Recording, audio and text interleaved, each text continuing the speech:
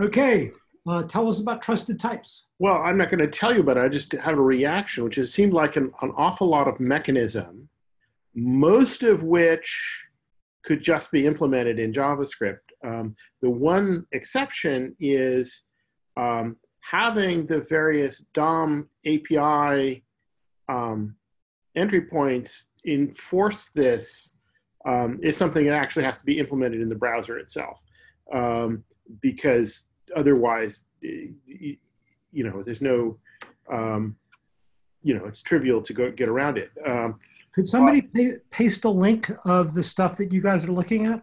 Yeah. I'll, I'll do that. Yeah.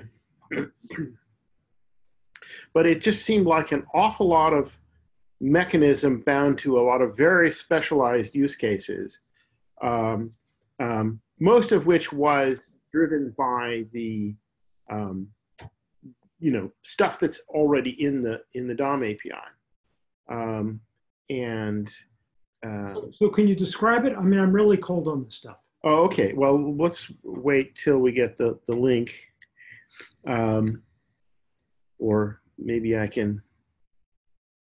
Let's see what that. Yeah. Um, uh, I pasted the OCAP uh, JS link. This is the one that has the link to the other one, uh, just so we can keep the discussions under this thread. That would be nice. Um, okay. I'm going to paste the other link um, if somebody just want, wants to skip to that. Yeah, and I can I can just do a screen share so we can we can look at it. Oh, actually, yeah. Why don't you do that, Chip? Because that I do I do have I have followed the links. I do see the material, but if you do a screen share, then we can see uh, where your focus is. Yeah, for some reason, my screen share button is not working. It's grayed out. Um, Let me promote you quickly. Uh, John, I just noticed that your um, uh, John David is hyphenated. Do you like going by John or John David? Uh, you can, oh, John or uh, JD works. John David too, but like, let's keep it simple, JD. Oh, JD, that's right. That's right. Okay.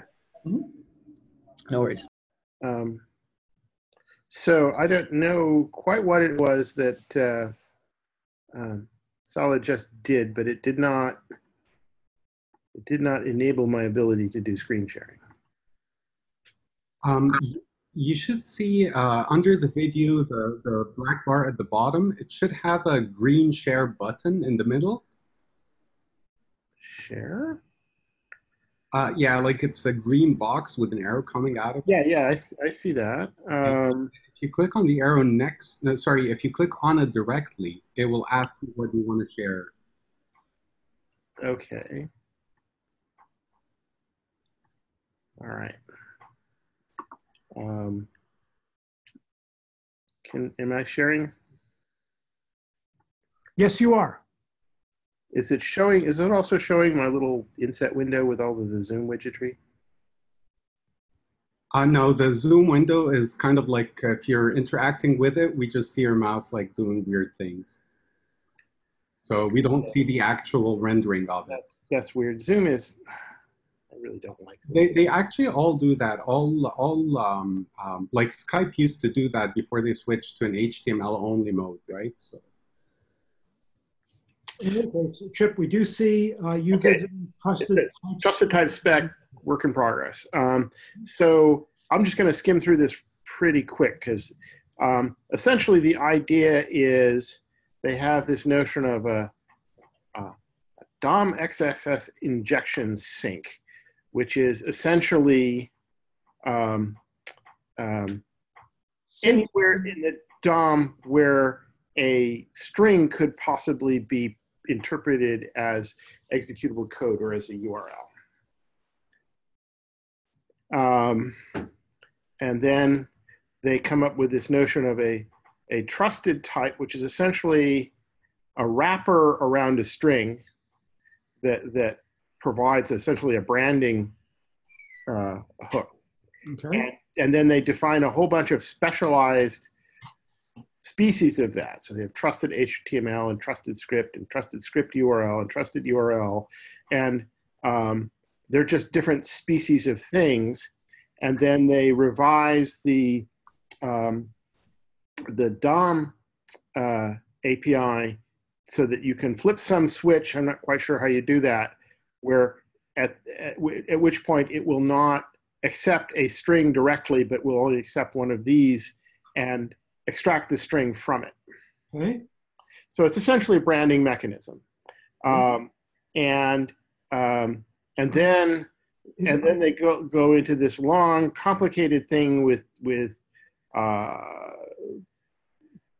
uh, policies and with a, some kind of mechanism for generating, taking a string and generating one of these trusted type objects from it, and how that can happen.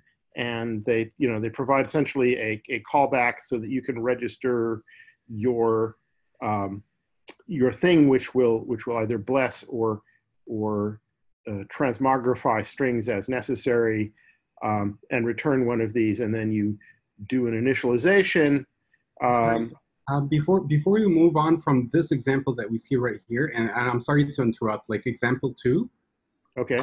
Because uh, it caught my eye, like they're returning URL dot to string, and I, I, that you know the examples are completely um, like what what's the magic about um, uh, calling the URL constructor with to string I'm, I'm sorry, you, you got you guys are getting ahead of us or ahead Yeah. of me. Just I, I don't know this API. Just talk through what example two is trying to say. I, I think example two is is is is hand waving distraction actually. Okay, so uh, ta- give me some simple example, example one, whatever, uh, but just talk me through in concretely what So so what, you have what, this thing, what this API is trying to do uh, before we criticize it. Okay, so, and I said, I've, only read this at a surface level myself, so you're getting a, a, a- a fairly amateurish summation.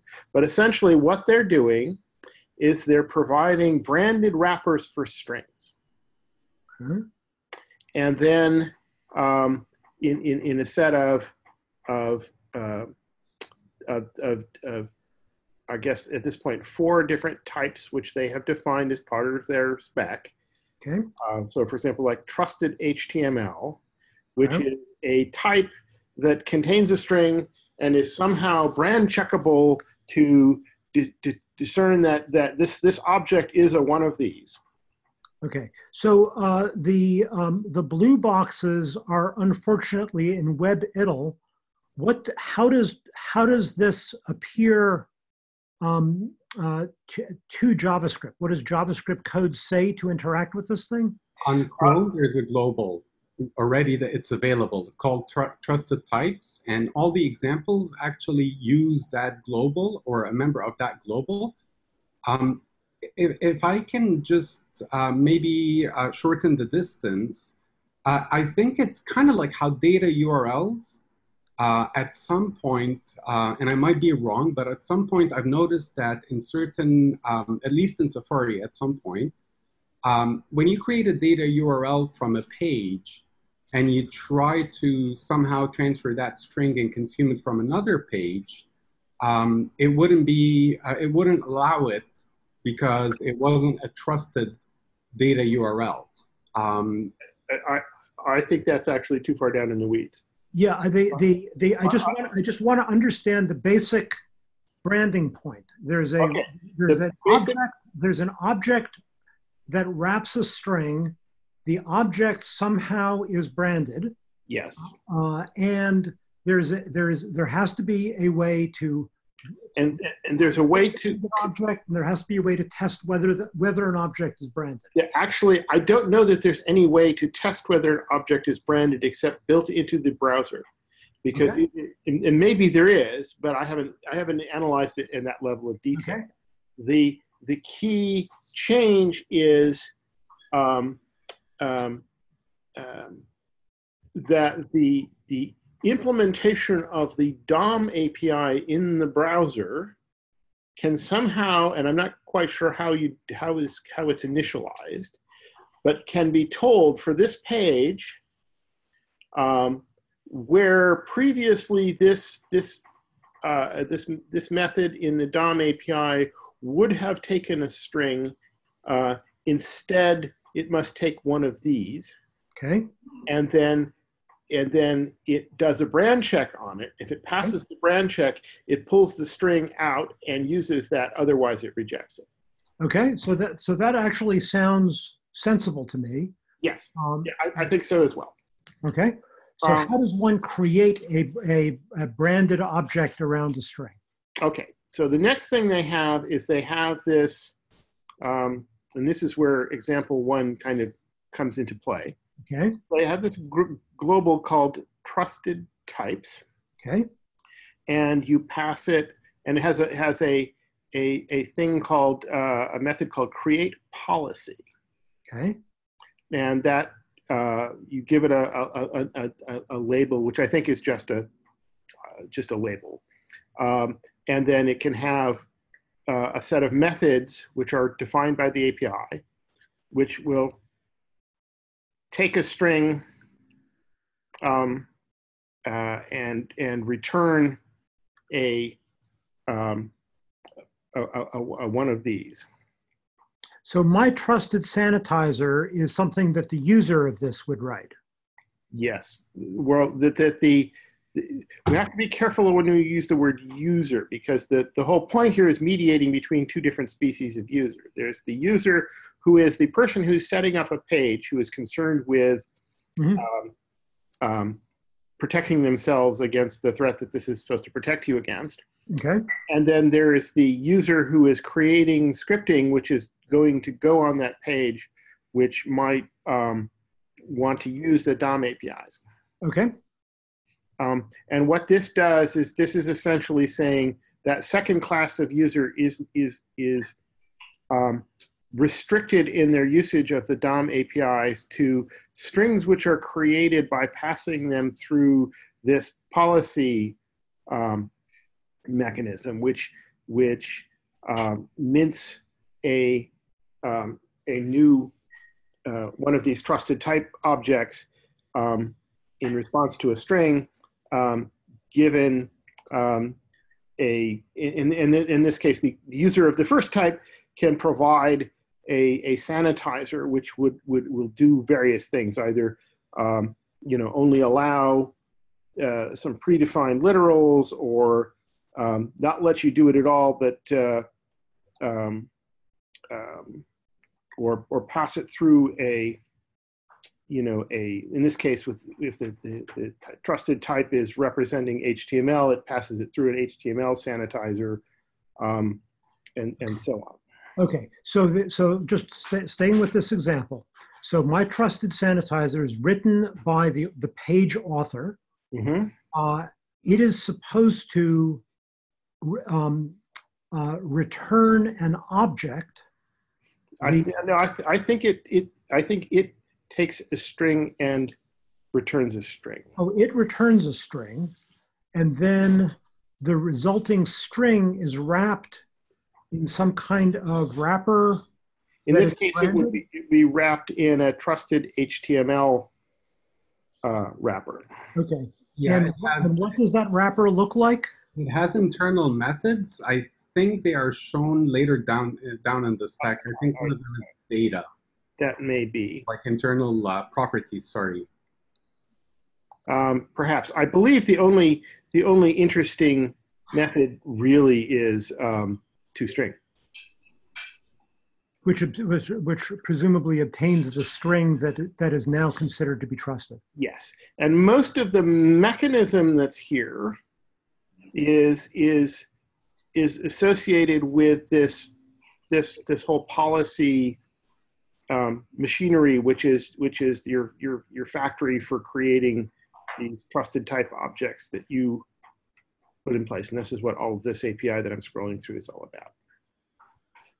And um, it just seems it, it, it, it seems needlessly complicated and it seems like it's highly specialized to the the um, the DOM API um, when I, I think it would be cleaner if they broke it into a um, you know, a, a general purpose branding mechanism, and then, and here is a use of this branding mechanism that will be uh, observed by the uh, DOM API. Um, okay. But instead, it, it, it kind of, it, it bakes all of these things together. So the threat model here is that uh, you're trying to keep the adversary from running any scripts within this page. But if the adversary does run scripts within the page, uh, the um, it's game. Uh, uh this is not attempting any kind of defense against an adversary that is able to run scripts in the page. It's Correct. I believe this is this is this in the same vein as um, um, you know the usual recipes for, for protecting yourself against SQL injection, um, which is rather than assembling a um, you know a SQL uh, expression by doing string concatenation or something, um, you have a um, um, you have a, a, a, a, thing which assembles it for you under the control of, of something which presumably is more rigorous, um, which is different from the uh, we're not going to use um, any text that came from the user as part of what we use to construct a SQL uh, expression. We're going to use parameter substitution. Okay. Which is a much more reliable way to do the same thing. So altogether for us, you know, we're focused on a much finer grained threat model than they are. Yes. Uh, is uh, first of all, is there any danger to our goals from this? And second of all, is there any way that this can help us with our goals? Um, I haven't read this closely enough to have a, a, a developed a, what I would consider an informed opinion on that.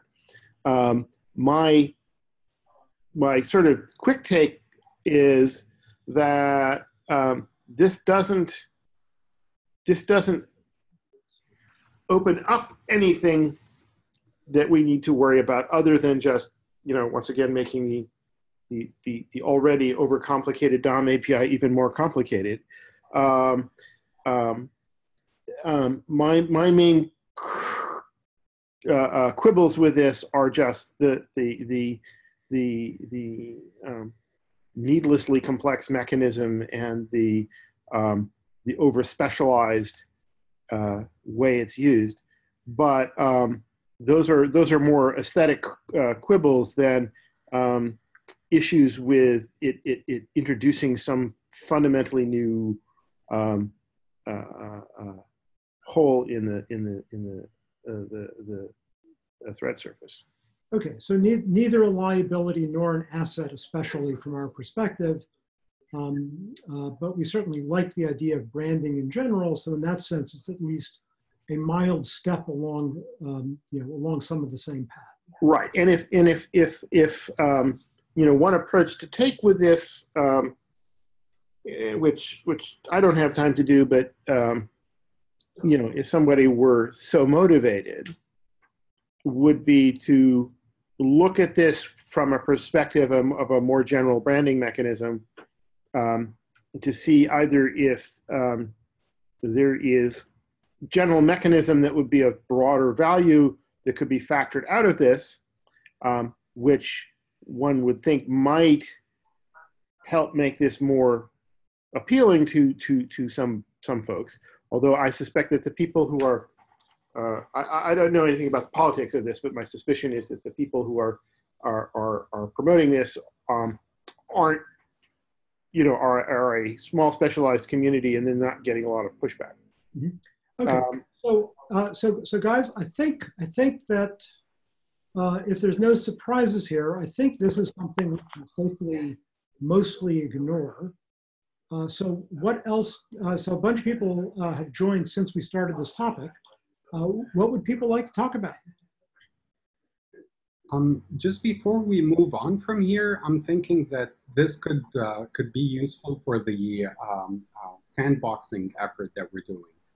So the, the frame, um, because potentially at some point we are dealing with um, the HTML source Um, and if trusted types is going to be something that, um, um, you know, that is coming along the way, then um, it, it actually ties very closely to what would be accepted by the uh, CSP policy of the frame. So I, would like to see if that aligns, you know, like dig maybe a little bit deeper into that, or if anybody has um, some insights mm-hmm. on how that would relate to CSP, maybe come up, um, you know, in the next couple of weeks, that would be nice. All right. Are they planning on, uh, is, is part of this proposal involve any CSP extensions to, that are aware of this proposal? Yeah, um, I think if if we jump to um, like I pasted a link in the chat. If we jump to that link, um, it will uh, show us uh, a table of things where um, they will enforce um, the policy on the values that will actually be um, passed to these objects. So yeah, Chip, I, I don't know if you can see the chat. Um, not while I'm sharing. I think I'll have to hmm, just stop that. Okay. Um, I, I can share from my end. Sure.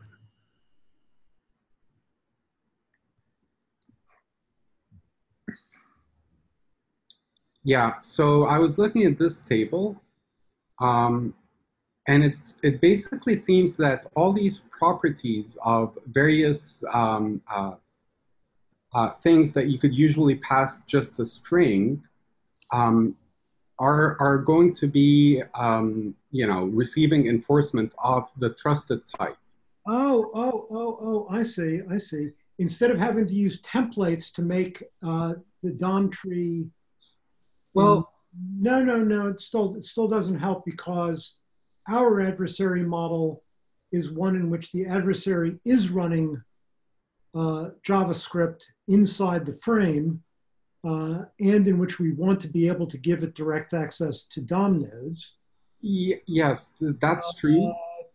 But, uh, still, if the adversary doesn't have the ability to brand strings, then okay, if the adversary has programmatic access to DOM nodes, uh, genuine raw DOM nodes, but the uh, only accept trusted types flag is on, and the adversary does not have the ability to, to cause any strings to be branded, uh, does that prevent the adversary from using the DOM to cause scripts to be evaluated?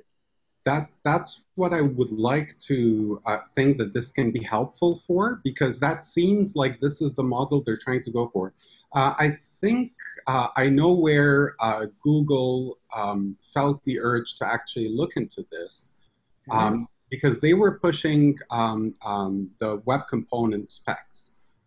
Um, mm-hmm. And um, with web components, you have a big problem is that most of your DOM is created from strings. Um, the, um, the clever use of template elements um, um, has been uh, around from before web components. Like as soon as template element, elements came out, people have been using them to generate DOM elements. Um, it, it, was only recently that when the, the template element itself got adopted, that people backed their template string against it directly to generate nodes um, uh, from the generated output. So that, that mechanism requires a lot of um, trust on behalf of like what elements are being generated in this approach. Um, and I think this is, you know, one, one pain point that this spec is trying to address. Um, so I'm thinking that if you create a frame um, somehow you control its trusted types. And then, um, and then um, you make sure that everything goes through trusted types. Um, uh, it doesn't eliminate the need for the service worker potentially, um, but it's, it's going... Because, because the trusted types is, oh, actually, maybe it does. No, no, because Well, hmm, okay, I'm confused about something.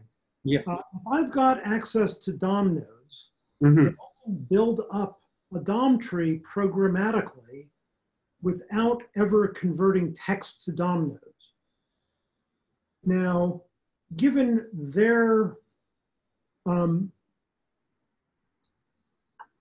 is it the case that for every string that would be accepted by any of the DOM APIs that with this flag on, Yes. strings have to be trusted strings. So, so I like the script element because they show that they are really targeting SRC, as in the URL from which a script can come.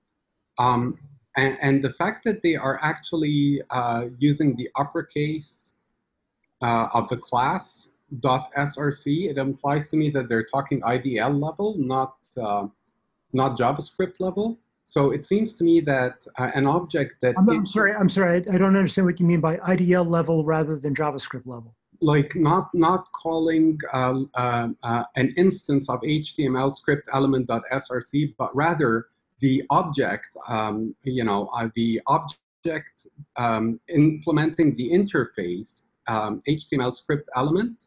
Whenever the SRC value of that interface uh, is being set, um, it will actually be a sink for which the policies will be enforced.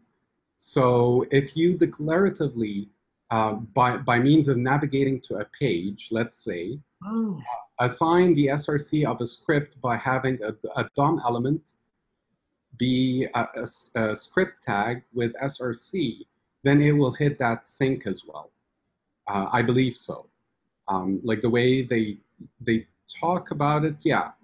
Um, so so it, it seems to me that it's going to be the, the approach to actually tap or hook into declarative and uh, programmatical um, um, you know um, okay. assignments of such uh, aspects of these um, you know DOM So, okay, so now that I'm starting to understand this, um, if this table is the complete list of all of the ways in which you can provoke the DOM to um, dereference a URL, and it's the complete list of all of the ways in which you can provoke the DOM to evaluate a script, uh, which seems to be the intention, um, then if we intercept all of these, then why do we still need service workers? It would seem like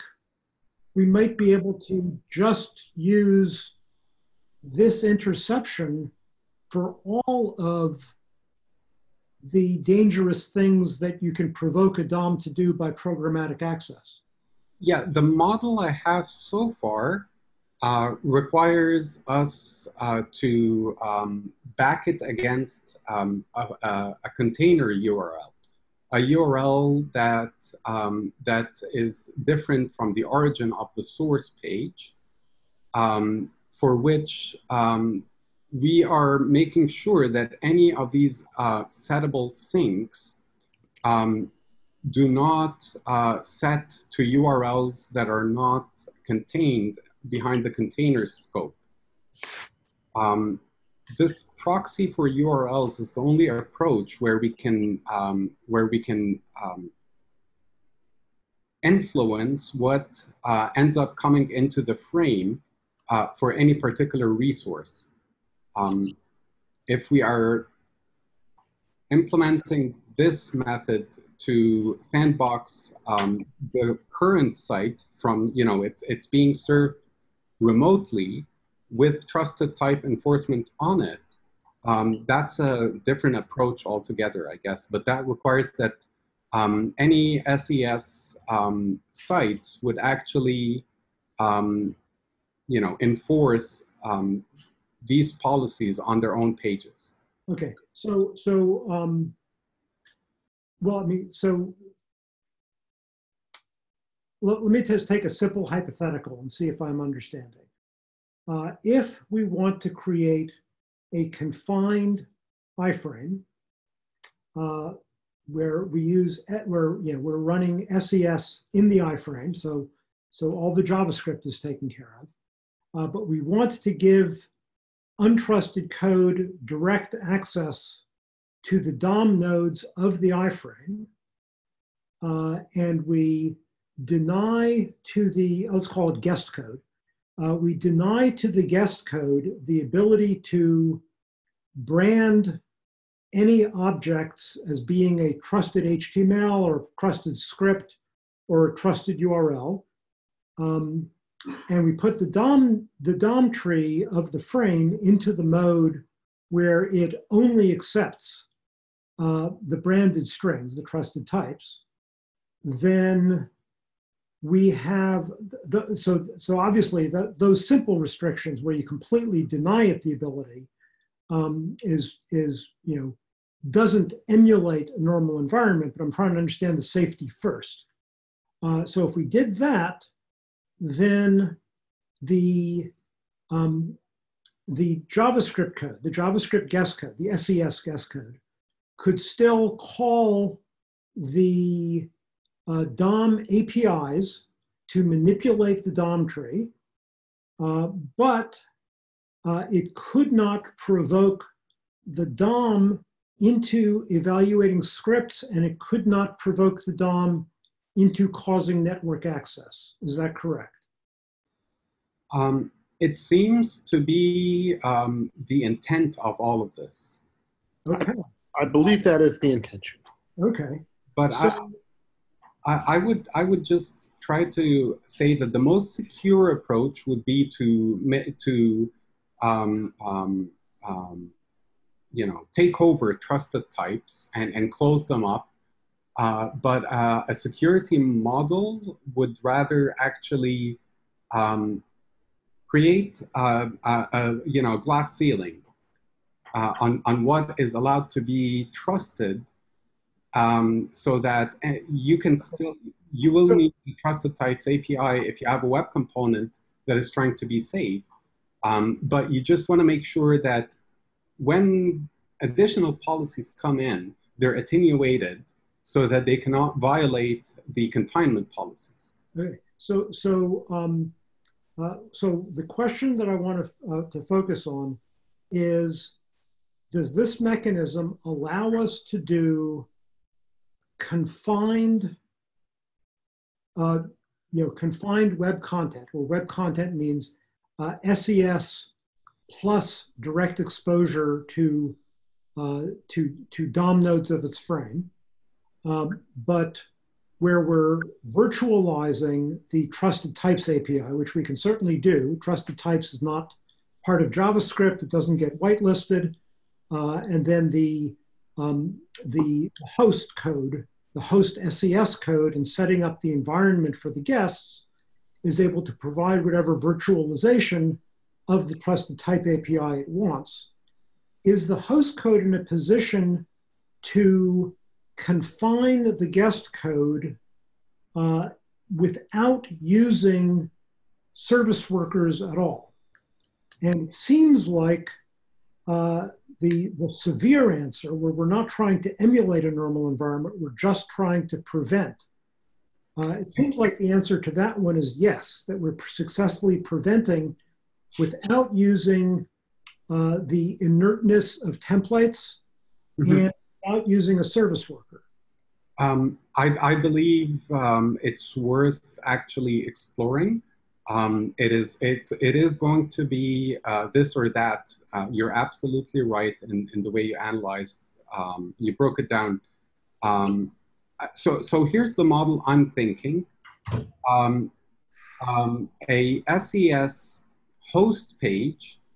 oh I'm sorry. I'm sorry. Can I can I interrupt you? I'm, I just noticed something that's missing here. Yeah. There's script URL string, but there's no script. Yes, oh, there. I'm sorry. There is. There is the, the, the second and third element script string. Yes. Uh, yeah. So so the text content when you have a script that has a body. Um, so so. Um, what what about inline event handlers? Well, I, would like us to start looking into this uh, cautiously. Um, because uh, so far the only browser that seems to have any affiliation with it is, is Chrome. Um, I have not seen, uh, except, you know, like splashes that came towards um, ECMAScript, like the TC39 has uh, a proposal that, or maybe more than one, um, to make uh, minor modifications um, so that trusted types can, can actually um, handle certain strings. Um, so I, I, did, I, did, not understand that. Um, in, in, in the, um, I guess this is the one. Um, so yeah, there's a proposal at draft zero. Um, that Mike, Mike Samuel, by the way, is one of the authors on this. Okay. Yeah. Okay. Right. So so it seems like it's having traction within the spec bodies. I see. Um, and it's going to be a different beast. Like it cannot really complement the service worker approach. Um, but but the model here will be that the the secure host is going to be um, served by the remote itself. Um, and when the secure host loads, it will probably probably create an iframe, uh, which will be uh, about blank at this point. Um, and it will uh, then make its uh, trusted type global. Um, and then it will start to populate it with the HTML DOM somehow, um, which is a trusted type as it's being populated into a blank iframe. Um, and it will have to be sandboxed. So I don't know how we're going to have access to the trusted types, but retain some level of sandboxing so that the um, frame, the iframe page cannot uh, reach to the parent of the frame. I didn't follow that at all. Yeah. So, so I think let, us explore this um, further. And when we do, maybe there could be a better way to, um, I mean, it's, it needs some brainstorming, which I didn't, you know, get any chance to do. Hey, this is JF here. Um, um, the idea of the the branding mechanism here in place, and the idea of branding at creation and um, having those uh, those sink or those uh, consumer um, validating uh, the branding is something that we do uh, in Locker. We have the exact same mechanism. And our concern is to defend against blobs, which can be turned into object URL and then uh, used to inject uh, JavaScript into iframes, into uh, window location and, and escape the sandboxing mechanism that we have. So um, the problem with Blob is um, the API, in order to validate the content of them, is async. You need a file reader basically to get to get to, to read them. But the usage of oh, the blob. You need a file reader to read what? The content of a blob. Oh, okay. Okay. Right. So you, you have an async process. So that the fact that it's async, it means that we cannot validate the content of a blob at the moment of usage inside a, a, a uh, for example, in the create object URI, URI uh, API. So, so at the time that method is used, we need to be in possession of the answer. Is this content safe?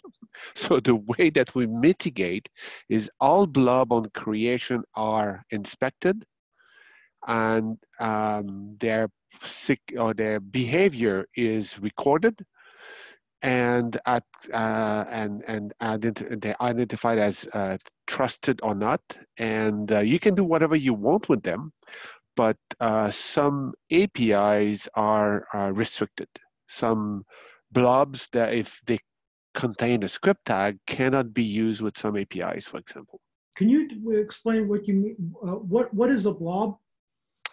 A blob is a, a, a browser object that can contain uh, large binary data, basically, and there are various types of blobs. Uh, you can have XML, you can have just plain text, you can have just about anything. There, there's a MIME type attached to them. And so they can be converted into a URL.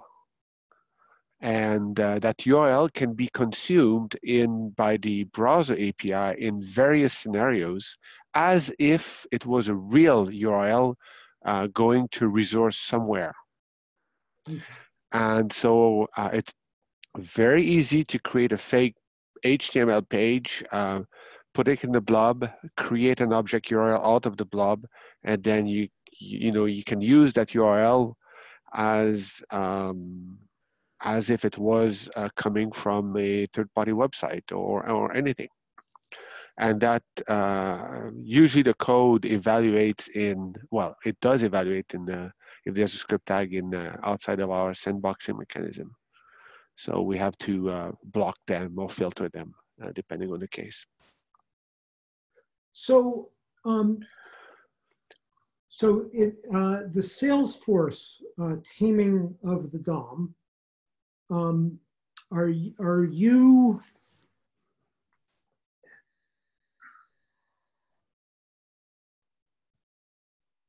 are you giving the untrusted code direct access to the raw DOM nodes themselves? We don't. We uh, we we have um, uh, wrappers or membrane or proxies around those objects. Okay. Yeah, we don't give them. So we add to we we have uh, we whitelist the APIs. So if something new comes up uh, well, we don't, obviously, by default, it's not supported, it's exposed. Mm-hmm. And on top of that, we do um, have a specific alternate behavior or distortion uh, for the APIs that we know as being malicious. Uh, does your uh, does the membrane that you build in front of the DOM is it is it similar to the membrane that Domado from Caja built in front of the DOM? I don't think so. I don't think so. It's ours is very it's it's based on metadata. So we describe the object using metadata, and there's there's there's a there's a mix of system, but the core is for the, for the DOM is to use metadata, where we define what type uh, for each method, what type of uh, um, method needs to replace the native one or what type of property need to be to replace the uh, the original one and what type of filtering we need to do. So um, if the the direction that we've been exploring lately um, is uh, to do the um, uh, to do the confinement uh, of web content with, uh, without membraning the DOM. Uh, would that be a significant benefit to you if we found a good way to do that safely? Um, it could be. Um, I think um, we've been looking at it from different angles. Um, um there's, in order to have access to the DOM, um, there are various uh, concern in place, various different ways to deal with the problem. One is the fact that the sandboxing in, in our system is multi-tenancy. So a DOM element, uh, it's not only yet you have a system mode and a user mode, is we're in a situation where we, ha we have a system mode and various users. Right. I mean, so I've, I've, I've, been assuming that that's that's yeah.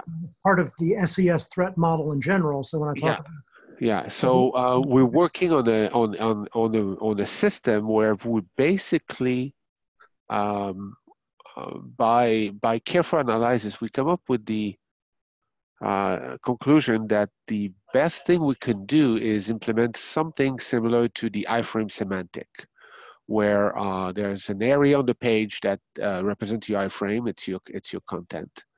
And there's a very strong boundary around it where, where the only data that comes in and out uh, and then can uh, go to other users is the equivalent of the structure clone or the uh, save data passing defined in, defined in the, the specs. And except for a communication between that sandbox and the DOM, um, they are, uh, you know, you, we, we're looking at patching the DOM. We can patch the DOM APIs, the native objects.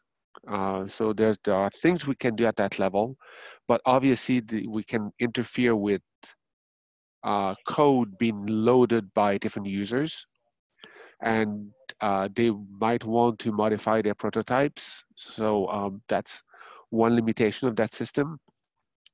Uh, the other one is is the membrane approach, and they are we have various types of membrane. And the, the approach with the membranes is um, we preserve, uh, compared to patching the DOM, we preserve the semantic of the DOM outside of the sandbox and we have an alternate behavior inside of the sandbox. So inside and and performance is is is good for the places where this has been done with care, uh, places where we use a more automated process and it can be refined and and and accelerated. But uh, yeah, I'd be interested to hear about uh, any other approach that you're exploring, and, and we, we can share also the uh, the different systems that we have put in place. Okay. We're currently re-evaluating the DOM access. There's there's always been the idea that we could patch the DOM and then, um, except for the, the optimization of running JavaScript instead of a native code, uh, we would um, we would be uh, we would gain uh, uh, compared to building objects or, or build, building proxies and running through proxies or, or the equivalent of proxy because we have other systems that don't use proxies.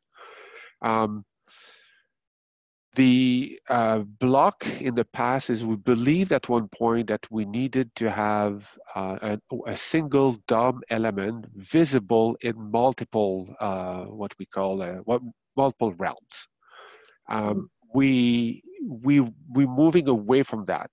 Um, oh. So there's, yeah, it's uh, at we've. I'm advocating that this the that model is not sustainable, and we need it ends up having uh, forcing us to um, uh, introduce, um, for lack of a better term, uh, same origin policy semantic, where we need to have DOM semantic, and the two things are not compatible. Uh, for example, if you want to have events or you want to have callbacks uh, on, on your DOM elements, uh, putting a membrane around a callback or around data passing, which is not data anymore, which can have function, is, is, is has proven to be problematic. And uh, so we're moving away from that. Okay, so every underlying DOM node would only be manipulable by a, one given guest. Correct, exactly. Except for the uh, body and document uh, and head, which we fake uh, and present to every user. So every sandbox on the page believes that it's acting uh, alone. So uh, you want to do uh, document that something or body that something, you can put your properties on it and nobody else will see it. Same thing with the, uh, you know, same thing that we do for window uh, in a, uh, or, or, global in, in, in a realm. But uh, we're moving away a little bit from uh, from what we were we started. Uh, the the thing I just wanted to mention is the idea of trusted type is something that we stumble across and have uh, have created. I wish we had seen the uh, specs before because, and, and I think our implementation is not too far. We could uh, isolate it in the submodule and have this idea of a trusted type in, in, in Locker. Uh, very well, uh, very well labeled. So you, because this is not an attenuator, it's a really a raw blob that we're using, but then it it has uh, uh, different behavior and expectations inside of the system compared to uh, the, the, the tame DOM elements. Yeah, and we're um, probably gonna get there at one point. Can okay. ask a question, uh, JF? Uh, uh-huh.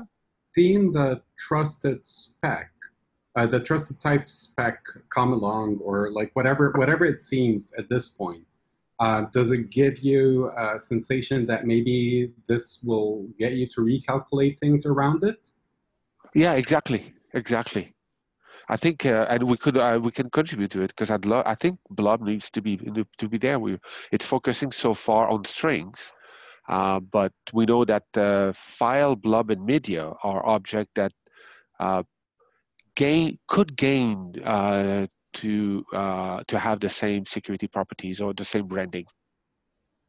Okay, so um, I, to my knowledge, so far the only browser that I saw this come up in at all is Chrome. Um, um, and there seems to be a polyfill. Um, oh. They, I don't know how that would work. Um, Do they claim the polyfill is secure? Uh, I, I, just glimpsed really quickly while I was listening. So, um, but may, maybe this avenue is something um, of interest generally uh, for for for the group to dig in a little bit deeper. Um, um, any any advice on on you know or any ideas on something to uh, you know towards that that would help us um, determine whether it's a viable um, um, route for us to explore or I don't know. Yeah, there there was a, I, I look in detail in, in the uh, the template uh, idea. So if your template is trusted, um, if and what you have to do in order, say, you, imagine your template is generate, generating HTML. You don't have to run a sanitizer on the template string. Okay, let, let me uh, let me, let me just interrupt you for a moment to terminology yep. clarification.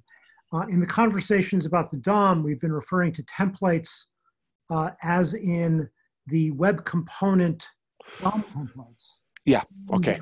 The, the template right. literal template objects. Yes. Yes. Okay. okay. Yeah, I'm talking about the literal, template literal. So okay. trusted type and template literal have a, I believe, a very strong uh, uh, value because uh, if your template uh, literal is trusted, then you could run sanitization only uh, on the values that are injected in your template literal if it's if it's already trusted. And trusted doesn't have it we we uh, just like pure modules um, pure modules can be um, in our system can uh, the equivalent of pure module uh, can be uh, uh, attained by uh, carefully vetting code and saying that yes, this only produces fresh or frozen data, and we don't need the the, uh, the, the mechanism of the pure module.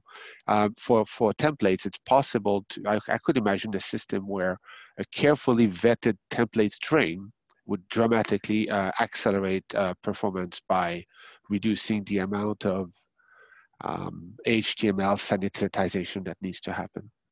I'm sorry, I did not understand the point about not needing the mechanism of a pure module. Yes, yes. Oh, um, gee, I'm going in so so many directions here. Um, okay, um, when um, when we are in a in, in a realm, um, uh, we need to have a communication mechanism with the outside world. Um, in a web application, that mechanism uh, is a um, uh, one of the mechanism is a, a, message system. Another one is a um, is a, uh, a, data service, and um, it would be uh, um, it um, there are uh, objects like that that um, can be safely used knowing that they produce only pure data and they are immutable without having, uh, and this is done by code review for very special pieces of code, and they don't need to run inside of a um, uh, container that enforces uh, purity, so something that doesn't have a um, a scope, uh, a powerful scope, or uh, doesn't have to uh, go through a rewrite mechanism, as we've been looking at, to make those those item those item pure. So that's a way in in some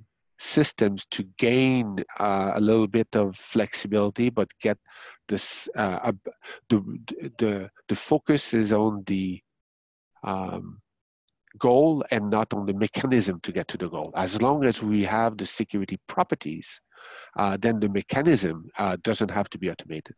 Uh, is uh, so uh, um, um, the the li- the line of reasoning that leads us to require pure modules is Yes. we want, as as you're calling it, multi-tenancy, multiple multiple mutually suspicious guests. Yes, uh, within the same root realm yes, without, without identity discontinuity, yes, uh, and uh, for modules that whose exports are pure um, uh, and that only consume pure imports, uh, we would also like multiple guests to be able to jointly use the abstractions that those modules define, again, without identity discontinuity. So, Yeah. for example, if a module defines a uh, pure class, uh, we would like to be able to load the module through the shared root loader, uh, you know, the shared the, sh- the shared pure loader so that multiple compartments can both end up make you know accessing that class by import, create instances, and not have identity discontinuity. Yes, uh, is the to do that we need to know that the exports of the module are pure uh, and that it only needs to import pure things uh, do you it sounded like you have a way to avoid that yes, yes. Well, it depends. You know, it, it depends on the security, um, the, the the goal, uh, and and the starting point. So, um, if we uh, say that uh, those different realms don't need to share higher order order object, anything else that is not data, anything that is not uh, def- as defined in this serializable object, they don't need to share anything, as they don't. Well, Um, but, they don't need to share a class. Um, we- not- okay so so so this is so now we're talking about goals that do not include avoiding dis identity discontinuity from new correct, correct. We Okay. can use the pure module as a fact, as a mechanism to save multiple eval in each one of those compartments. But uh, the semantic that we want to put in place um, pr- uh, don't require us to share those objects. We only want to put in contact items that are um, um, I gotta go. items items that are uh, data. Yeah. Um, there, there's a different angle of this um, that I, I'd like to also um, address during today's call, if possible.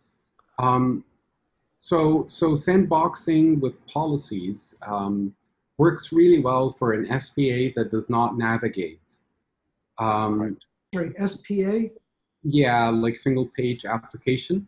oh okay So, what is the bootstrap model for navigatable, safe, um, um, you know, sandboxing uh, uh, an entire domain, let's say? Uh, you want your domain to be um, uh, contained.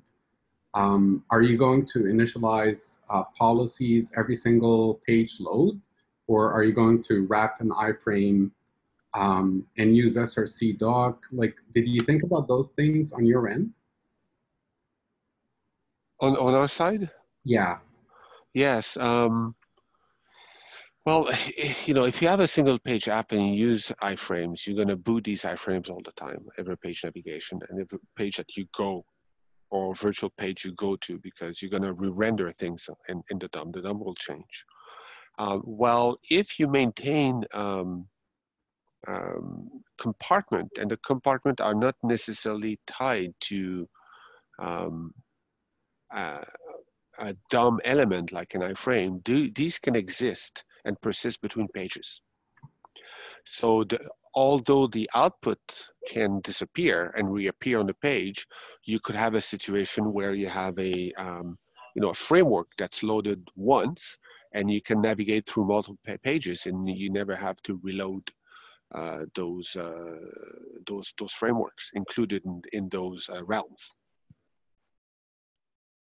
I think you're on mute.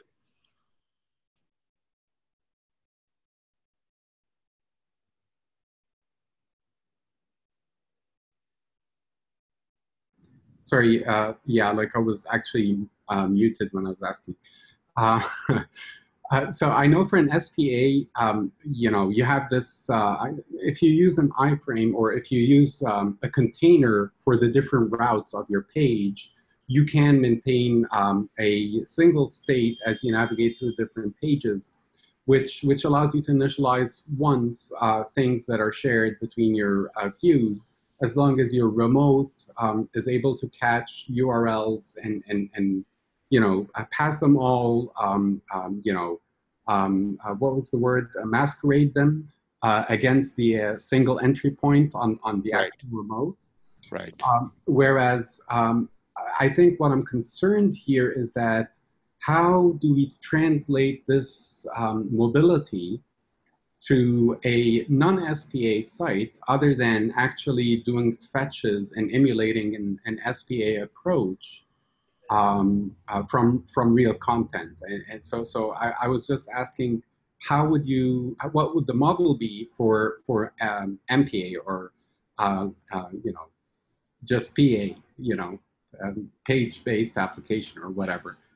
Um, so, what, what is the, what is your case? What is your situation uh, you're trying to resolve? Um, I'm just thinking that if containment um, um, is, you know, initialized differently between when you navigate from one view to the next, um, because you have to manually or, or you have to have a mechanism where you're initializing containment uh, on every page and you want to make sure that it does not get um, um, you know, it, nothing executes before the containment initializes. Um, as you move from one page to the next. Chances are you will hit, um, um you know, different loading, um, um, you know, uh, waterfalls, I guess, where in one page you would you would you would think that you you have the containment that you have in all the pages, and then you would have a different result just because yeah. of all these inconsistencies, um, sorry, of these uh, repetitive initializations of different DOMs, basically. Yes, and, and this is one of the reasons why we favor more model of uh, async communication between these containers. So, so the, the context we are in is is um, is is very um, the, the the sandboxing we're doing is very tied to our um, application architecture, which is basically um, something that uh, you would use with Drupal, you would use with WordPress, Wix, is you're dragging on the page um, uh, uh, higher order components that uh, represent an experience or an activity. And those are those could be iframe, but in our case, we don't use iframe. And uh, so, yeah, you're right. Uh, the behavior could be different depending on how the page, where they appear on the page and in what order they load. And they do, they do because some of those uh, things do appear on multiple pages and the pages could be different. So we could have a, a, a sidebar widget that uh, is a weather widget that is um, on the right side on the page, on the center another page, on the on, at the bottom of another page. It's to. It depends on the layout. So this is the the type of application we're trying to uh, to secure the um, JF, are you, do you have as a goal least authority libraries? Uh, you know, as motivated, for example, by the, you know, uh, or by the event stream incident? Yes. So, yes. Uh, so, though I, I, would say that um, with the way the the web is these days, uh, I don't think it has gained a, enough traction. This is still an uphill battle. So we have ways to design it before it actually becomes a target for security reviewers to say, you know, you have to come up with a mechanism to defend against third-party libraries, right? there was a there was a tweet that I really like from Brendan. It was mentioning, uh, uh, you know, somebody was was tweeting to Brendan that uh, we should have never allowed third-party scripts on the web. and uh, and and the uh, the response uh, somebody said, well, Mark's realm will solve the problem, and and Brendan was responded to that, and he said, yeah, that will great that will be great added if we add the next thing, which is a mechanism uh, for uh, third-party script to not run as uh, first-party rights, basically. Yes, so it, it's coming, and yeah, I think could I think could you could you forward that to me? Yeah, yeah, I'm, I'm using that in the presentation because it's uh, it's so Okay. it's a condensed, forward-looking uh, uh, co- communication, right?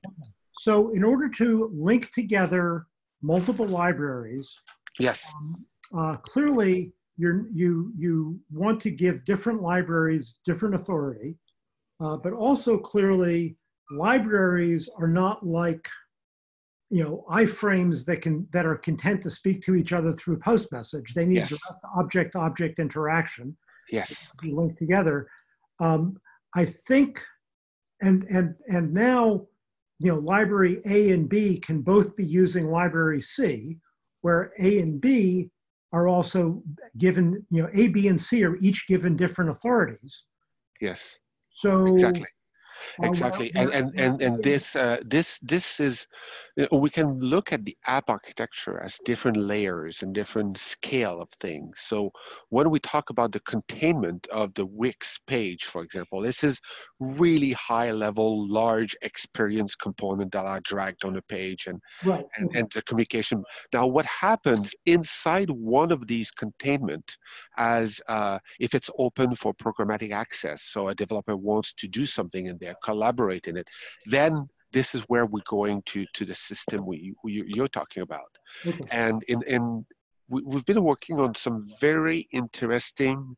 Um, model important model or, or code sharing example between uh, because on our platform, what we say is code should be isolated. So two um, actors on a page should never see code for each other. But there are cases where this is desirable.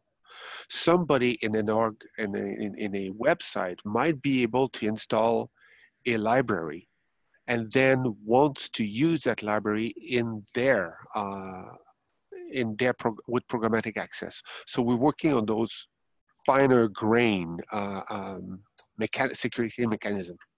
So, so to my mind, the the for, I mean, I, I like your granularity distinction. I think it's very important.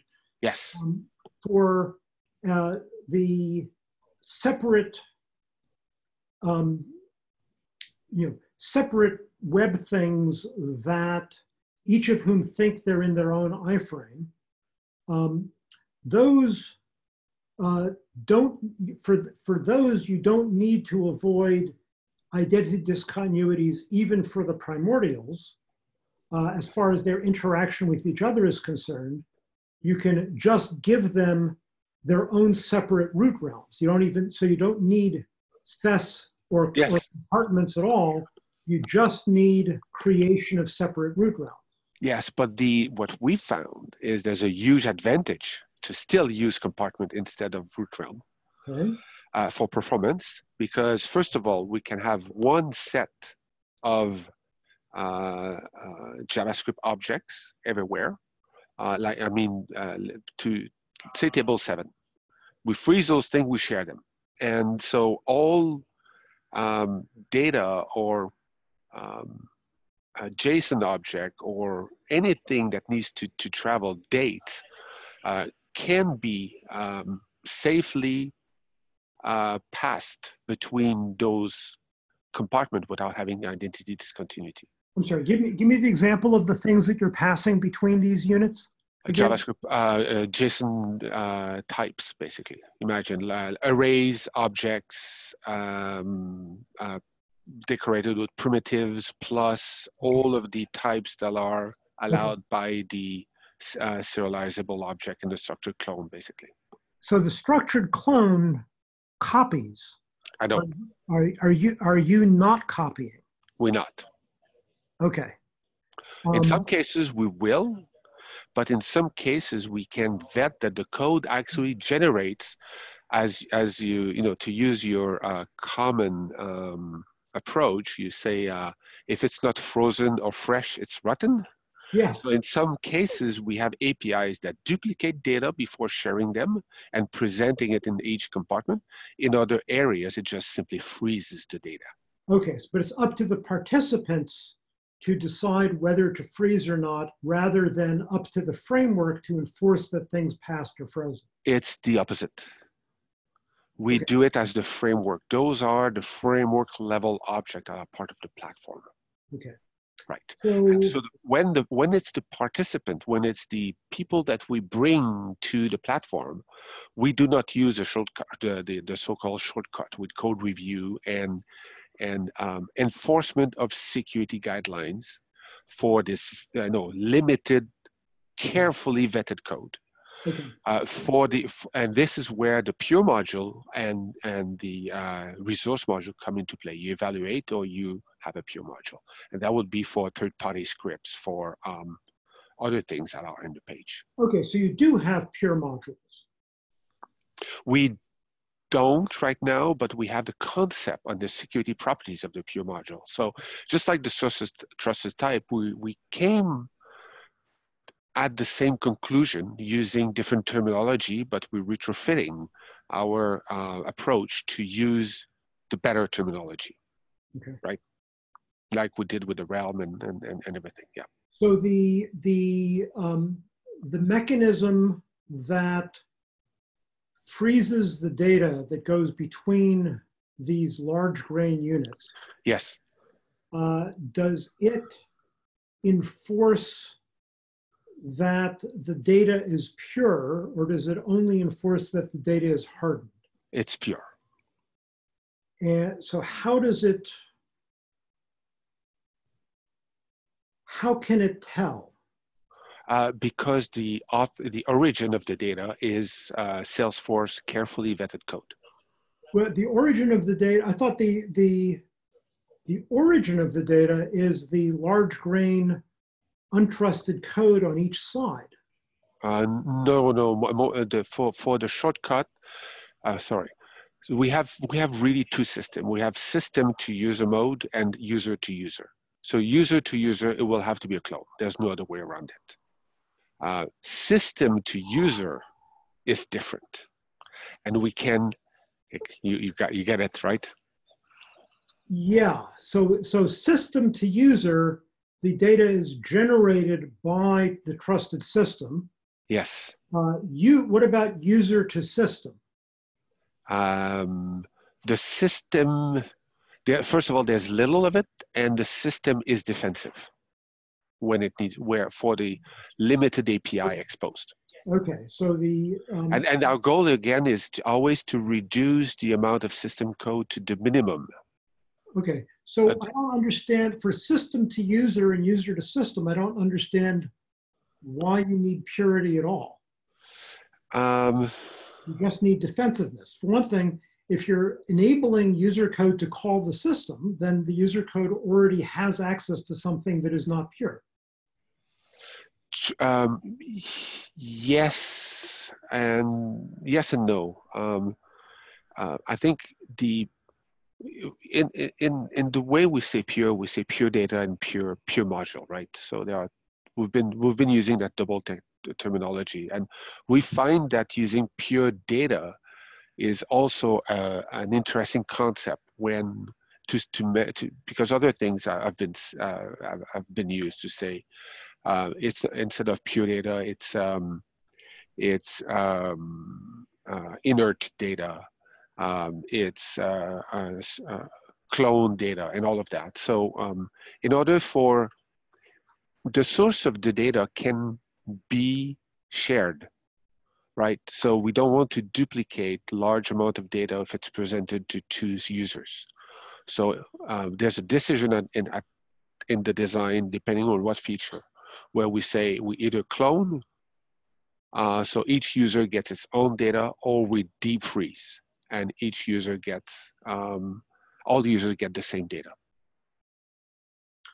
So, okay, so, and, and the, it's the system that's deep freezing data generated by the system. Exactly. And by deep freeze, do you mean the same thing that we're now calling harden? Yes, basically. Okay, basically basically it's um, but in our case the the um, uh, because we've already frozen or or we have a mechanism to freeze the primordials then we don't the deep freeze stops when we get to uh, the object prototype and and and and, and the array prototype or, or- and the other types that could happen on that data like a date right. so Yeah. Harden does that as well. Yeah. Um, The, I mean, the hardened code is basically just, just uh, derived from our, our common deep freeze code. So- okay yeah we should probably update uh, at one point Um, uh, the, but so, so user to user, you say you completely clone everything. So there's no shared objects. yes that's the design we're going to yes Okay. we currently uh, we, we just launched a new platform uh, the lightning web components and when we were doing the secret review last summer when we started working on the remember we, i was mentioning that uh, you know we need to define in the realm what the behavior of import uh, we realized that uh, putting code between um, those uh, uh, compartment was um, uh, putting those compartment into communication was difficult, so we decided to disable it. And so it's not allowed currently. So users don't have a mechanism to talk to each other. Uh, Cool. ex- So, so this large grain unit that we're, you know, referring to as a user, what is the actual term for this large grain unit? Um, we're working for the term. Currently, we we um, the way that the system has been implemented, there's been a um, a semantic ki- uh, slippage in the sense that uh, code is defined in something called a namespace. So every user gets an, a namespace, and they put their code in the namespace. And uh, and uh, when the compartment are created, the original system that was designed is each locker is uh, for e- each namespace there's a locker created and all code defined in the locker in the namespace execute in the locker associated with that namespace. So that was the original design. So uh, the code the semantic definition of the code um, its location of where it's defined determine where it executes. And uh, so if I have a jQuery component, uh, uh, a library running in the jQuery uh, namespace, and ex- execute in a jQuery compartment. And if I have a underscore library, that it runs, it would execute in an underscore compartment. Okay, now I'm, the, the underscore in jQuery, Yes, those are libraries. Those are not the, like the sole occupant. yes, Uh, exactly. Yeah, but imagine they were like larger. They were they were part of a. I'm using those as names instead of using A and B. But imagine Alice and Carol. Our Alice as defined uh, Alice Foo, Alice Bar, Alice uh, So- So the- component components. They all execute in the same. Sorry. Okay. the namespace is a, is, an- is a, what kind of name mapping to what kind of thing? Uh, source code and compartment. Source code is mapped to a namespace, and the compartment is mapped to the same namespace. So there's an there's an identity. It's, sorry, yeah, it's really what- really hard to get around. I'm sorry, what, what are the names in the namespace? What is the names of? Namespace. I'm sorry. What is the question? I don't, I mean, so, so there's a lot of namespaces that we Right. have, and I'm just, I don't understand what this namespace is. So there's Yeah. a lexical environment, there's a global object, there's Yes. an import namespace mapping from, from uh, specifiers to, to uh, module, to, They're all the same. So if a if Alice Alice has a uh, is an org, she has a namespace. She might decide to call Alice for simplicity. All of her code are in the Alice namespace. And it's defined there, um, and all of her code execute in a sandbox that would be called Alice. So the the the, con- the execution context is the same as where the code is defined. does a namespace, a- a namespace is like an SES compartment that has a global ob- has its own global object and has its Correct. own So the has its own compartment, yeah, exactly. Okay. Okay. So it's all equal. And what we're changing is that that that model where the code can be defined in one place but can execute in a different one. Okay. So that's never been done before, and we, we're implementing those rules currently. And it, it it's it's ba- basically will resolve a lot of problems that developers have currently. It means that um, what what we will base uh, the system is on a mutual trust system. So if Alice has written some code that Bob wants to use, Alice has to make her first her code available by a mechanism. She must say, "I'm allowing people to import my code." because some people might not want that on, on, on of all the players on the page. And Bob has to say uh, more than just an import. It has he has to say in his uh, in his package definition uh, that he's uh, is is uh, agreeing to import from Alice, and then um, uh, any import statement can then uh, function for uh, cr- uh, importing from Alice, and that prevents accidental mistake where um, you know some some code could execute uh, an error can be made in a compartment uh, and in, in a component that uh, a module that has a, typo could be made and instead of using alice you, you lose uh, alice too something which is, could be a different person so So- we're working on those rules currently Okay, so right now, you're talking about the rules for different modules that are linked together. You're not talking about the interaction between the large grain units. Is that correct? exactly exactly Okay. Okay, good.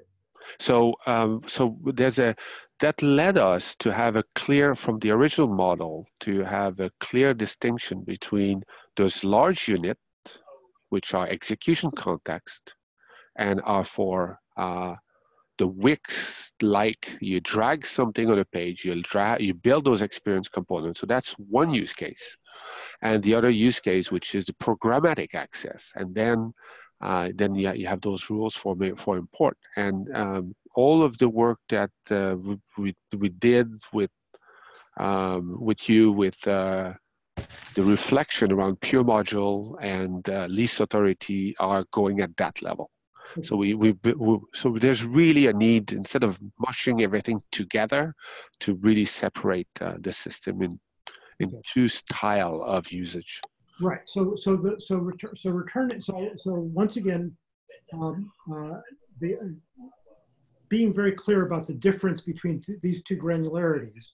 For the large granularity units, um, you're putting them all within one frozen root realm, one SES realm yes uh, for efficiency.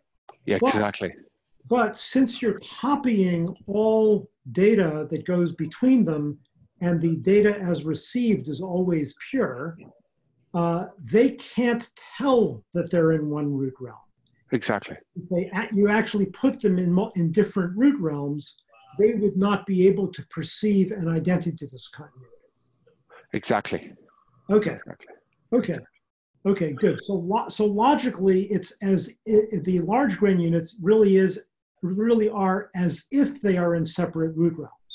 exactly Okay. as if um, and uh, but but then we have the uh, the the perf the huge perf benefits that uh, we obtained right from the beginning when we dropped iframes uh, for evaluation uh, and the identity is going to be just between system mode and and those uh, uh, various containers Yeah. Okay. Yeah.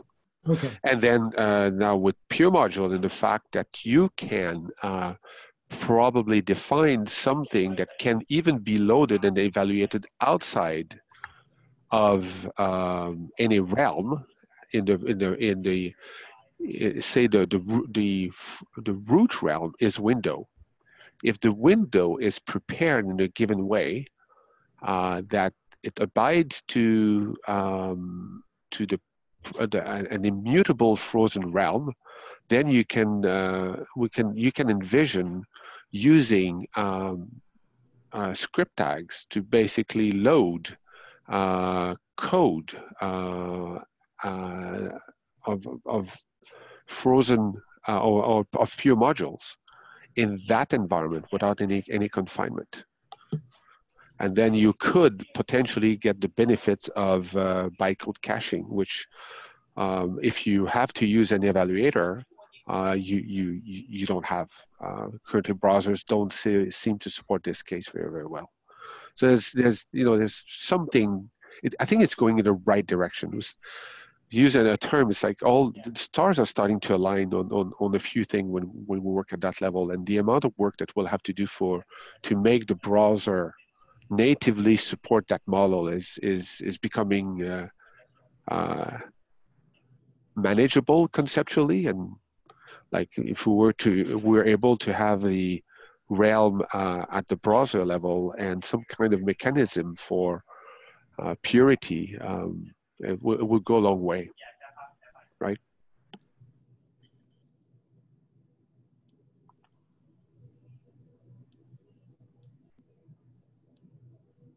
Are you currently uh, working on Domado or the equivalent of Domado or the equivalent of Locker? Uh, the um, so for the DOM level, uh, we've been discussing in the meeting, and uh, Sala and Michael Fig have been exploring mechanism. Interesting. Okay. Uh, uh, for uh, you know, Agoric, we're interested in that eventually. Eventually, but right now our focus is on you know server, JavaScript API. Yeah. yeah, basically is, is on non-browser JavaScript is, okay. is, the focus of Agoric yeah. right now. Yeah. Yeah. we de- we definitely are interested in the other one long term. Okay. Yeah, right. Right. And there's still work to do at that level. Right. Right. And it's the uh, the, the the work that gives uh, currently the biggest perf, um, and and it's usually where uh, well the work we've been doing has been alleviating a lot of uh, customer issues. Uh, by the way, do you have any numbers or measurements or anything about how much faster it is to create, let's call it a virtual iframe rather than an actual iframe? I don't know. I haven't I haven't captured that because the use cases are so different. Okay. Yeah, we would I would love to um, you know by by having the uh, higher level container on the page. We'd love to bring them closer to the iframe so that uh, a given developer could more easily switch between an iframe and a, a locker, uh, depending on uh, what suits best for them and um, in terms of what is supported uh, by locker, what can be cannot be supported by Locker due to technological limitation. So um, yeah, so we're working at that just to make these two environments more the same. So it's so that it's really a, a, developer decision instead of an every uh, uh, an obligatory decision. For example, the data system could be exposed inside of an iframe uh, by loading a, a skeleton library that would know how to communicate with the outside.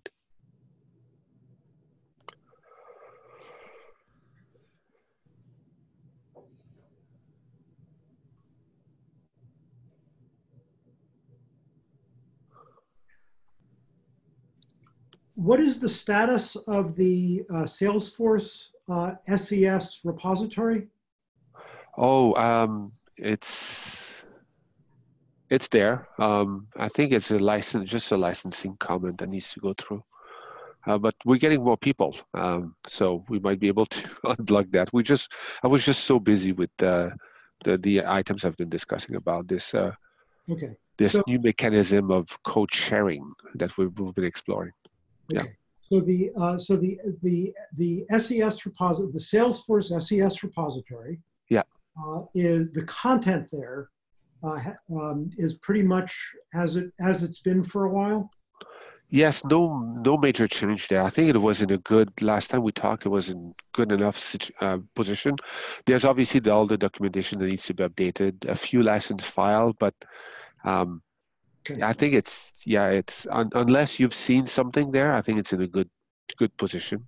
Okay. Yes, um, and uh, it does not it it, its only notion of mutually suspicious code is evaluable scripts. It does not contain any kind any kind of rewrite from module text to script text. No, it doesn't. Okay. Okay. And no, it, it, it, does detect that. Uh, yes, yes, exactly.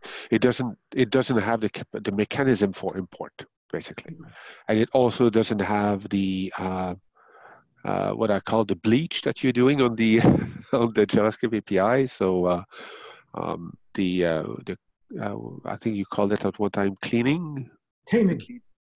The, cleaning. So you're removing the um, oh, oh, extra property from the language. We don't we don't have that in there. Okay. Okay. Um, okay. Yeah. Um, uh, there's some really dangerous stuff in um, uh, the um, uh, JavaScript that you get from V8 if you don't clean it. Right. Like the uh, the the bizarre uh, error stack trace customization things, the static methods on the error object. Right. You can you can those those are uh, quite abusable, um, and you know and there's other things. But in any case, that's that's um, uh, that's fun. And when we as we as we reconcile our systems, we'll we'll we'll get all that together. And we've done all the cleaning in such a way that uh, for each thing that we remove, um, the there's an option not to remove it, so that we want to basically have all the differences between what you guys need and what we need um, uh, be configurable with options so that we can end up reconciling on one source tree, one repository that serves all of our needs. Um, nice. Have you looked at um, our um, design for a module to evaluable script uh, rewrite so that we can safely load on top of the uh, the Realm shim? Yes. Okay. I, you know, it, it's a lot more material that I could absorb over the past few months, but it's, um, I think it's going the right direction. And also, what what I like is it, it's all built in. Um, uh, it's it the code is sufficiently independent of the the realm and the freezing and the cleaning. So all of those things are.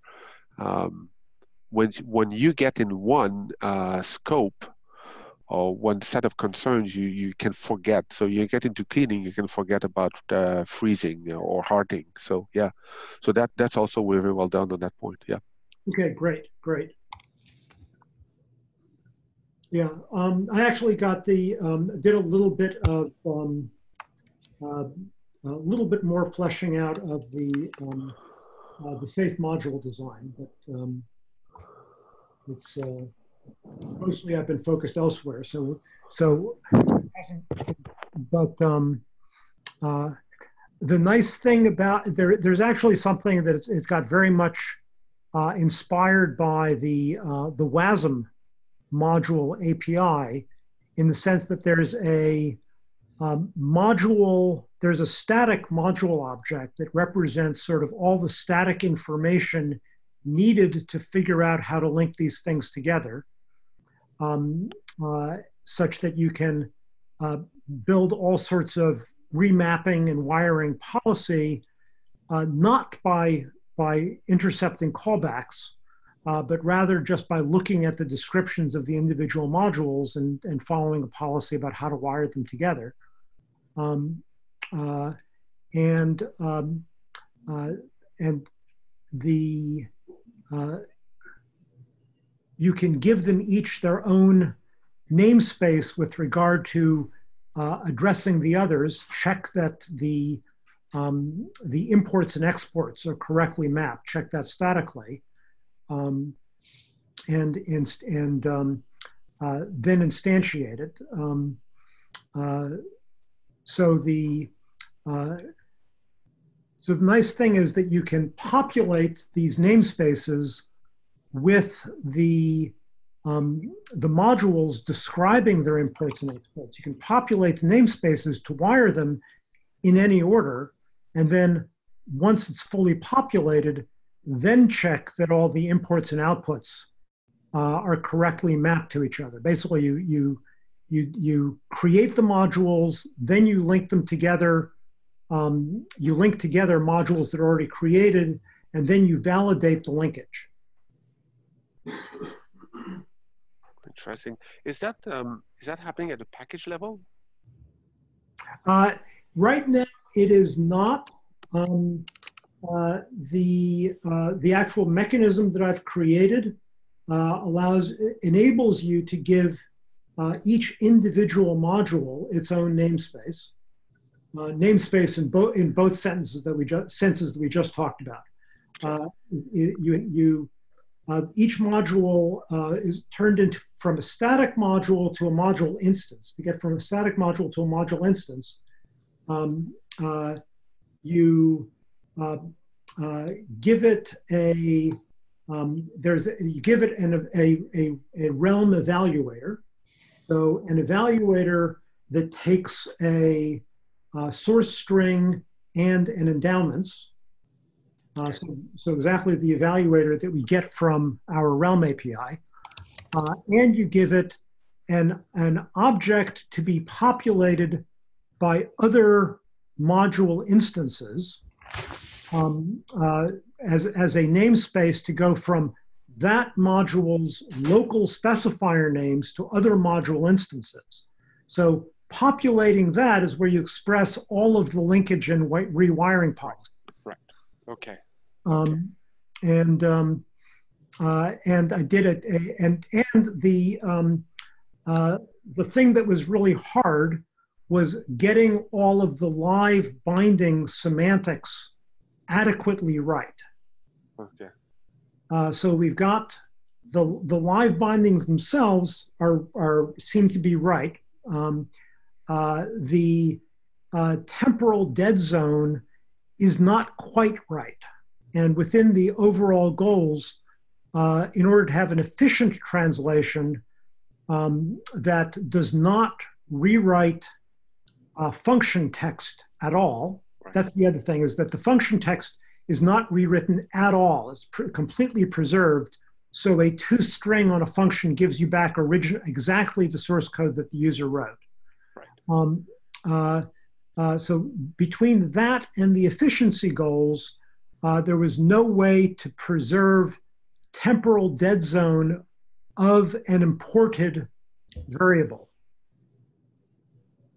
So, uh, so by the JavaScript semantics, uh, if module X imports A from module Y, then uh, if A dereferences X, before the exported X binding has been initialized, then uh, you, you're supposed to get a reference error.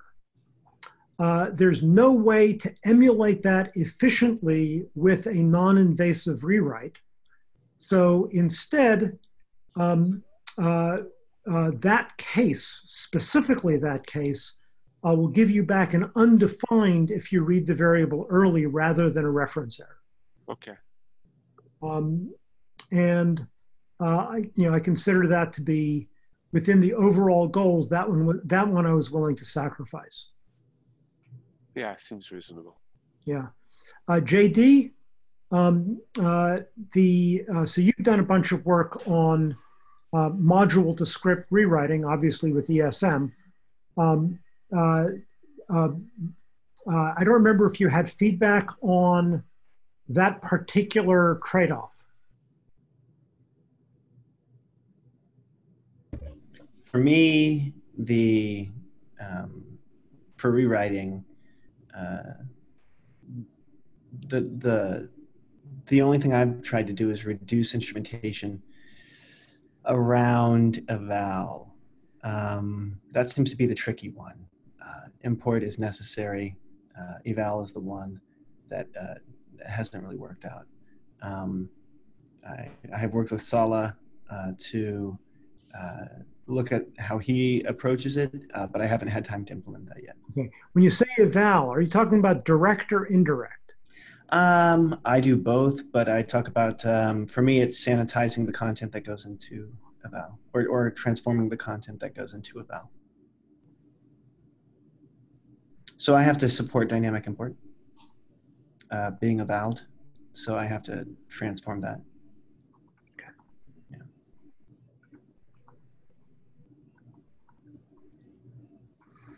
There's probably some other things, but that's the main one I'm thinking of. Mhm. Mhm.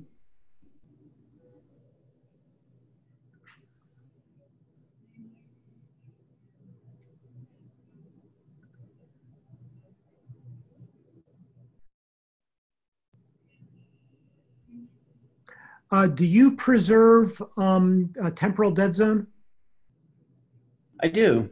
Um, uh, through a, uh, a couple different ways. I try to leverage the the um, the built-in uh, behaviors where possible. Else, I instrument to uh, simulate the temporal dead zone.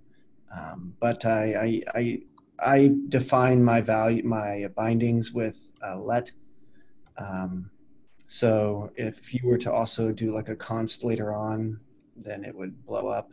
I instrument, uh, I, I, do a parse check to make sure you're not assigning directly to the, the bindings, um, uh, which, would, which throws the appropriate errors if you do. Because I, I wrap an instrument to detect assignment. Mm-hmm. So yeah, I, I, I, throw all the appropriate errors. I have all the temporal dead zone stuff in there. Um, uh, but I, I do it a little bit differently than y'all do, where you um, do like a global assignment and then use your proxy to, to look up stuff. Right. You do it by actually rewriting each assignment. Um, yeah, I do. I mean, like, I I have a, a, a, if it is an assignment, I basically have a function that I wrap around the assignment and then pass the value of the assignment through just in case it's needed. And there I can do some checks on some things. Mainly, I use it to to to signal to the uh, getter setters that they, there has been an update or a possible update, um, and then it triggers all of that that uh, machinery. Okay. Yeah, but but I do. I I um I basically just throw more instrumentation at it, and that seems to tackle it. But again, the more instrumentation you have, the harder it is to do other things. So. Right. Right. Um,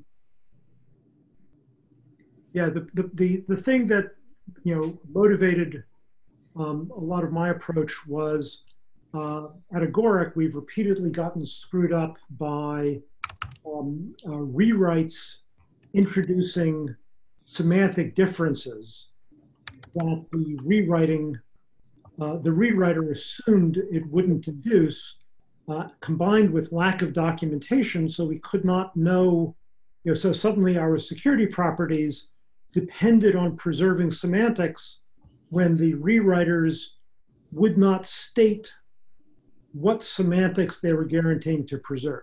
Mm-hmm. Yeah, mine mine are um, the the rewrite's pretty basic. It just does a wrapping around uh, the assignment. Um, so so far, I haven't run into uh, problems. I haven't run into rewrite problems in a while. Um, I also run it through uh, test 262 and all of that. Well, just just the import stuff, um, and I haven't run into any weird um, behaviors there either. So okay. yeah. Okay, great.